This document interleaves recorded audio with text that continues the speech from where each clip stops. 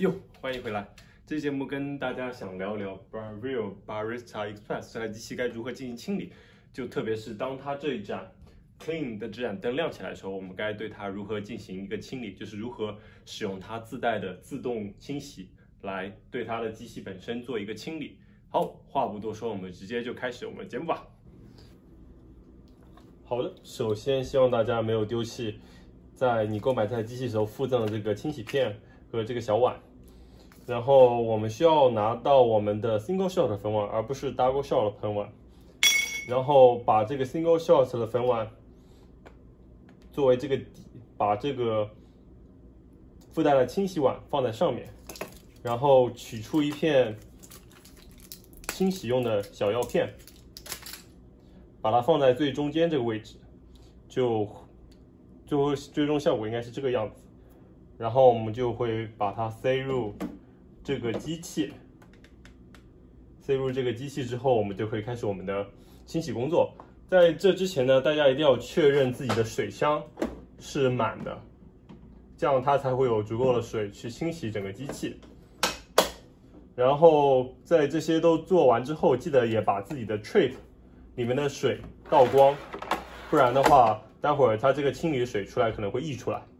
在这些准备工作都做完之后呢，大家就可以进行我们的清洗。在清洗之前，我们先把整个机器关掉，所以说整个机器是处于 off 的状态。这时候呢，你同时摁住 single shot、double shot 两个键以及 power 键，这样它就会开始它整个清洗的流程。那么我们就来开始吧。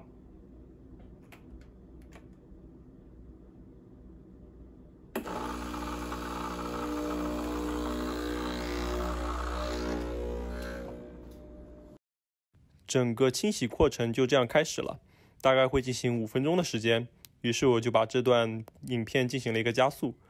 然后整个清洗过程中，大家可以通过仪表盘看到，机器会进行多次的加压和放压，在这个过程中，机器也就得到了清洗。我们也就静待五分钟之后吧。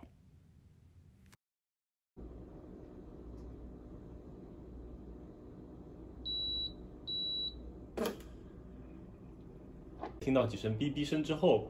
就可以看到这个 clean 灯呢已经暗掉了，然后它其他几盏灯也都亮起来了，整个清洗循环就说明是已经结束了。在这结束之后呢，大家也需要 double check 一件事情，就是你把这个勺拿下来之后，看一看里面的药丸药片是不是完全溶解了。看起来这里是还没有完全溶解的样子，你可以选择再进行一次清洗。或者把清洗留到下一次，那么这就是一个它自带的一个清洗的过程。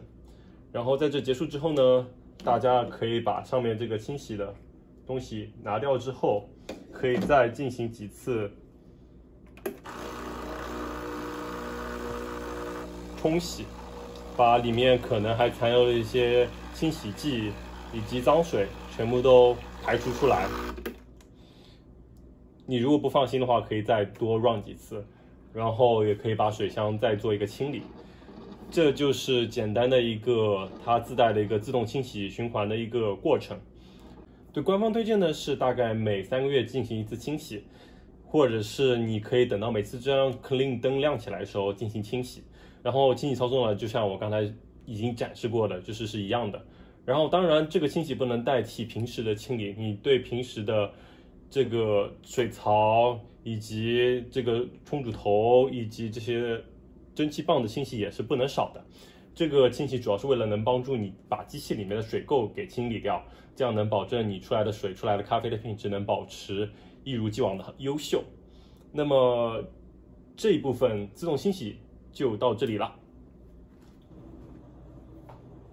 刚才已经跟大家介绍完了自动清洗周期的一个流程。那么大家在清洗完水槽和水箱之后呢，这台机器就可以正常使用了。但是呢，在这里我还可以给大家介绍一个额外的清洗的小建议，那就是可以使用它附赠的六角形扳手来清洗我们的冲煮头。那很简单，就是用六角形扳手把冲煮头的螺丝拿下来，然后把冲煮头拿下来进行一个清洗就好了。然后过程也非常简单，大家就手持六角形扳手的长边，然后将这个短边的头。深入到中心这个螺母的位置，然后我们进行一个逆时针旋转，就可以把中间这个螺丝给拧下来。对了，大家在进行这些操作之前呢，一定要记得给这台机器先断电，以防有一些其他的触电啊之类的事情发生。然后呢，大家就可以简单的从边缘把这个冲煮头给抠下来，这就是大概冲煮头的一个结构。然后我们就可以看到，在它的内侧会有很多的咖啡垢，我们就可以用肥皂水或者是洗涤剂进行一个简单的清洗，然后再把它装回去就可以了。好的，这期节目就到这里了，就简单介绍了它整个自动清洗周期的一个使用方式，来如何去除它的 clean 灯的亮起，准确说是如何帮助我们更好的维护这台机器。好的，如果还没有购买这台机器的朋友，也可以去参考一下我之前的视频，有开箱视频和测评视频。